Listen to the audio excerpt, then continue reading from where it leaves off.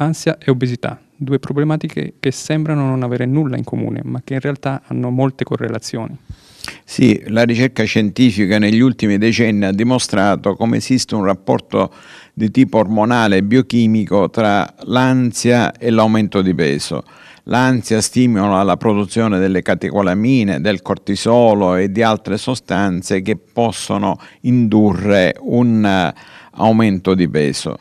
Su questo una nostra proposta di cui parleremo il 24 eh, prossimo a Pizzo nel proporre un uh, trattamento con training autogeno. Sono esercizi di autorilassamento che vengono insegnati alla persona, riuscirà così senza farmaci a dominare l'ansia, avrà maggiore possibilità di trattare la sua obesità.